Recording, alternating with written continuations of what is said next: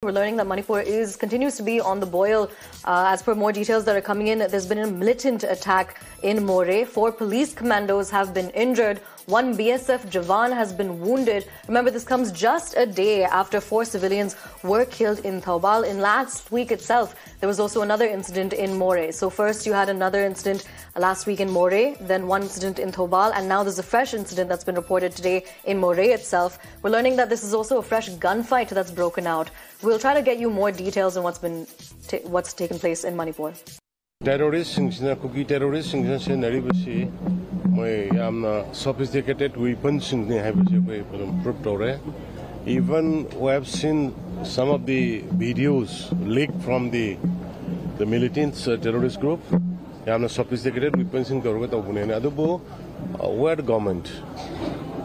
Uh, where with the central forces and the SS forces uh, we are countering them and now search operation and a combining operation is widely going on. Reinforcement has been sent, and uh, uh, we are having some doubt of involvement of foreign mercenary from the Myanmar side. We're crossing over to my colleague Shivani to get us more details. Shivani, please take us through the current incident that's taking place. What's coming to light? See, these are two separate incidents that have taken place. One happened uh, in, uh, on Saturday in Manipur, mm-hmm. Where around 3.50 p.m. the unidentified gunmen and police commandos resorted to heavy exchange of gunfire.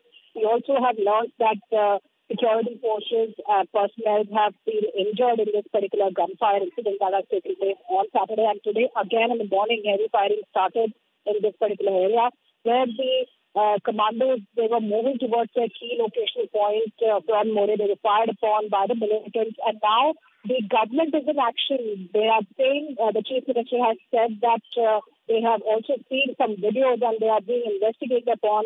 And they are seeking help from the central and state forces. There are reinforcements in this particular area that, that have been placed in this particular uh, incident. And uh, they also say that they have uh, seen, uh, they, have, they suspect the involvement of foreign machinery, especially from Myanmar side.